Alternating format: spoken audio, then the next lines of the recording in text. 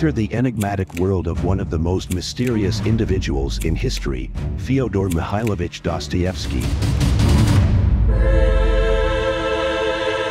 A restless and vibrant soul during his childhood, Dostoevsky's inner world shattered when he discovered the lifeless body of his nine-year-old playmate. He withdrew into himself, unleashing a profound introspection that would forever shape his extraordinary literary works. Dostoevsky's heroes tend towards their own personality. Dostoevsky was influenced by masochism and guilt. Dostoevsky was sadistic towards others in trivial things and towards himself in important things. In other words, he was nothing but a masochist. When we first meet the characters in Dostoevsky's works, they may appear to us as unemployed weaklings whose thoughts are meaningless, who like to daydream, but the flame of their gaze is directed not outward but inward towards their own lives. Dostoevsky's most striking trait was his ability to conduct deep and detailed socio-psychological observations. He explored the complexities of human nature and unveiled the depths of the human mind through his characters. His influence on 19th century literature left a deep and universal impact. In terms of Dostoevsky's artistry, he is right next to Shakespeare. No novel can compete with The Brothers Karamazov. We cannot praise the Grand Inquisitor enough, one of the most competent examples of world literature. It is Dostoevsky's great mastery that he never fully explains his characters. They always surprise us with what they say and what they do, and they keep the eternal secret of existence with themselves until the end.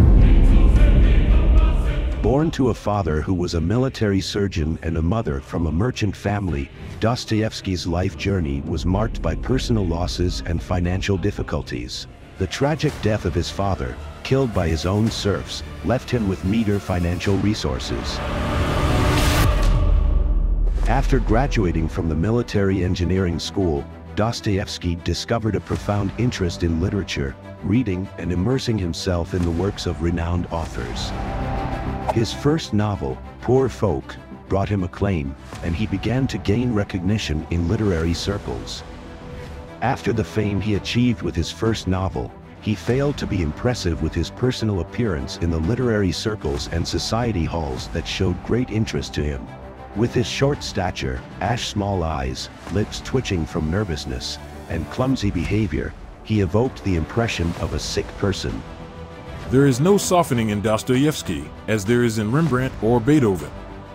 His works are like charcoal drawings made by looking at a Rembrandt painting with deep meaning. The literary world began to mock him, and in response, Dostoevsky decided to join the reformers. He did not hesitate to get involved in the impact of the political and social reform movement under the oppressive rule of Tsar Nicholas I. Concerned about the spread of revolutionary ideas from the West, the Tsarist regime ordered the arrest of members of the Petrashevsky group, including Dostoevsky. Following a lengthy investigation, a decision was made for 21 individuals, including Dostoevsky, to be executed by firing squad. The terrifying moments he experienced during the preparations for the execution left indelible marks in his memory. Dostoevsky described that moment as follows. The three men to be shot were tied to separate poles and blindfolded. Meanwhile, the privates loaded their rifles and shouldered them. After a cry of fire, three bodies collapse. They are replaced by three others, and just as the order to fire is expected, one of the adjutants waves a handkerchief. They are spared.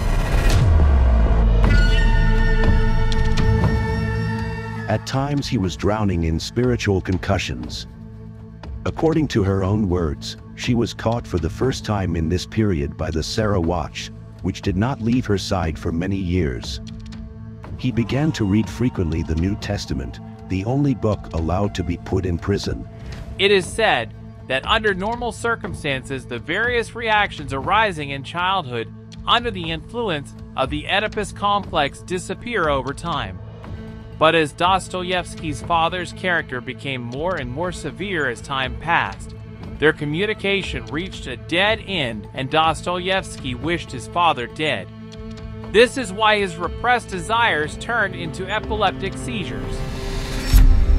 He understands and comprehends the concepts of crime and punishment most deeply in exile. During his time as a rowing prisoner, his arms were stamped, his head was shaved, and he breaks stones. He begins to see the prisoners with whom he lives in poor working conditions as extraordinary people and discovers their richness of heart and shares their sorrow and pain. Dostoevsky, as an artist, is not only in harmony with himself, he deals with people of problematic temperament, and such people are the protagonists of his works. The people he creates have an immeasurable love for life to the extent that they suffer. In 1854, after being released from prison, Dostoevsky began his military service in the town of Semipalatinsk in Siberia. While serving in the army, Dostoevsky fell in love with the wife of a fellow officer. After the officer's death, he married the widowed woman, but the marriage did not bring happiness. The responsibilities and financial burden from this marriage further intensified his desire to return to literature after a long period of silence. To support his family's expenses, he made a decision to increase his income by gambling again, but he faced losses once more. He set out to complete crime and punishment, which he had been planning since prison days. The years he spends in prison allow him to get rid of his intellectual arrogance, which leads him to violate the moral laws and gradually get closer to ordinary and unfortunate people.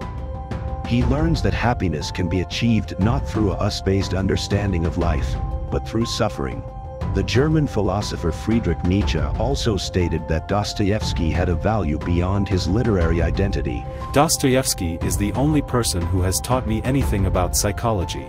However, Nietzsche's understanding of God and Dostoevsky's understanding of God are different. While Nietzsche interpreted God with the words, God is dead, Dostoevsky followed a different path from Nietzsche by saying, even if I know that life without God would be a lie, I still prefer to stay with God. According to Dostoevsky, the mystery of the universe is within man himself, and by solving the problem of man, the problem of God will be solved.